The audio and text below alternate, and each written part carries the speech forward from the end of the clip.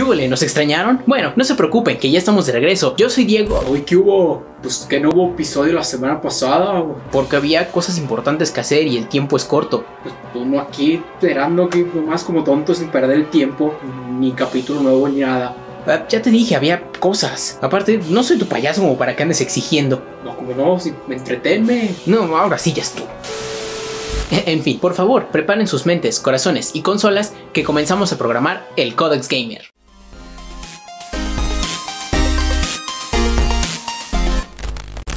En el capítulo anterior les hablé de un juego muy ad hoc para Halloween, y pues porque no son enchiladas y hay cosas que hacer, nos tomamos un descanso, pero igual estamos en tiempo para seguir hablando de esto. Vamos con un juego muy especial, un verdadero clásico, un excelente ejemplo del survival horror, que no solo se ha quedado en el mundo de los videojuegos, sino que ha pasado a la pantalla grande con 6 películas. Pero bueno, ya mucha presentación, hoy toca hablar de Resident Evil, aunque no se puede hablar de survival horror sin mencionar Alone in the Dark, que prácticamente creó el género, aunque no se compara con el éxito sin precedentes que tuvo Resident Evil. Digo, solo basta con ver quién dirigió sus películas y el éxito o falta de este que tuvieron estas. Ahora, antes de seguir, ¿qué es un survival horror? No es el área de especialización del doctor per se, pero creo que puede ayudarnos. Estás en lo correcto. Yo me dedico a hablar de tecnicismos poco conocidos de los videojuegos, no a describir géneros, pero en fin, si no puedes ni siquiera mantener la constancia de los capítulos, ¿qué esperar?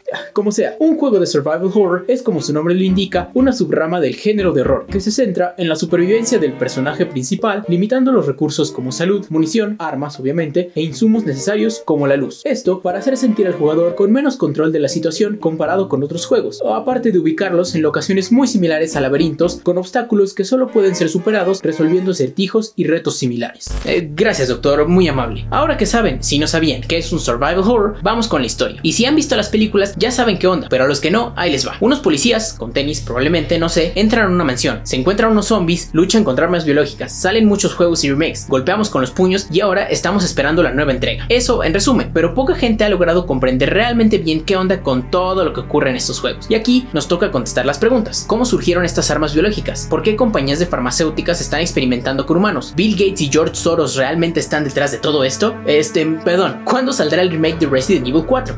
Spoiler, al menos una de estas no tiene respuesta. Pro tip es la de Resident Evil 4. Hoy, en Codex Gamer, vamos a revisar todos los eventos que dieron paso a Resident Evil. Comenzamos todo en el oeste de África, específicamente el pueblo de Kiyuyu, donde se encuentra una flor denominada Stairway of the Sun, porque al parecer en este universo Led Zeppelin también existe y Stairway to Heaven ya estaba ocupado, qué sé yo. Posta, que la gente vivía en este pueblo, consumía la flor y moría. Bueno, la mayoría. Una persona desarrolló habilidades impresionantes, desencadenando que esta civilización llamada Ndipaya se desarrollara alrededor de toda esta planta. Cuestión, que los compañeros de medicina Oswald Spencer, quien sufre de complejo de Dios, Edward Ashford y James Marcus fundaron juntos una corporación farmacéutica que cambió al mundo, The Umbrella Corporation. Entonces, en el 66, Spencer decide buscar la flor para saber los orígenes de su poder, que conocía gracias a los textos de exploradores dedicados. Entonces, en sus investigaciones, notó que esta portaba un virus que fue denominado el progenitor. Este virus tiene propiedades mutágenas, por lo que estos doctores encontraron un garbanzo de libra y echaron mano de la corporación Umbrella para obtener dinero, transportar y experimentar con la flor. Spencer, con su complejo de Dios, así como Nietzsche, quería ver si era posible hacer un superhombre con la ayuda del virus. Entonces, Spencer hizo unos laboratorios secretos en las montañas Arkley, debajo de una mansión, y con el tiempo lograron mutar al virus que llamaron Tyrant o T-Virus para los homies. De la nada, la investigación es saboteada por Spencer, y sus colegas cuelgan la bata, o sea, porque son médicos. Pero esto no se queda así, porque las investigaciones siguieron por cuenta de los hijos de estos personajes. Aquí entra Alexander Ashford a colación, por ser quien inició el proyecto Code Veronica, porque era super fan de Doña Vero. Bueno, esto puede ser no ser cierto. Luego,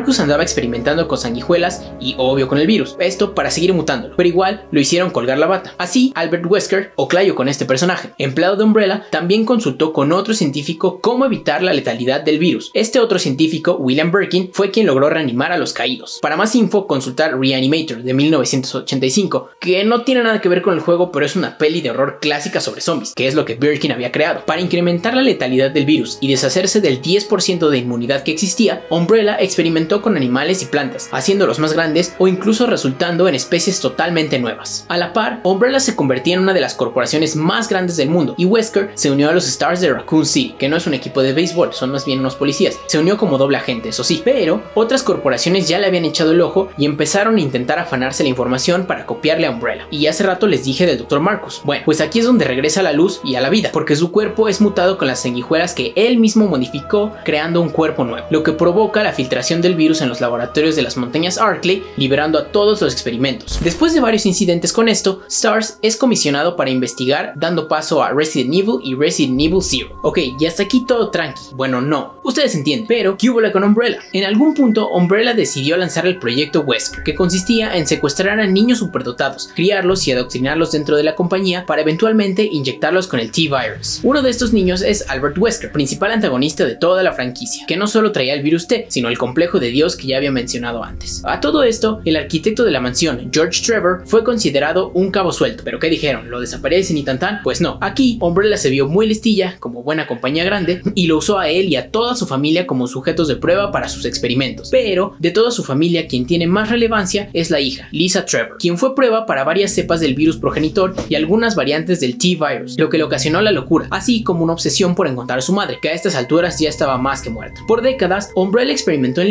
Permitiendo el perfeccionamiento del T-Virus, y Birkin logró sacar el ADN de Lisa para crear un nuevo virus, el Golgotha Virus o G-Virus. Para más información, escuchen Dope Smoker the Sleep, que no tiene nada que ver, pero mencionan el Golgotha y pues es una canción genial. Para el 95, Umbrella ya había tratado de deshacerse de Lisa, pero como hierba mala nunca muere, pues nomás no se podía. Entonces, en una de esas la dejan abandonada por ahí, pero el resultado fue el mismo. De todo lo terrible que hizo Umbrella, probablemente el caso de Lisa Trevor es el más brutal y desafortunado, ya que no solo fue el rapto y experimentación en una niña, sino que fue lo que desató todo el caos y destrucción que ya todos sabemos que pasa en Resident Evil.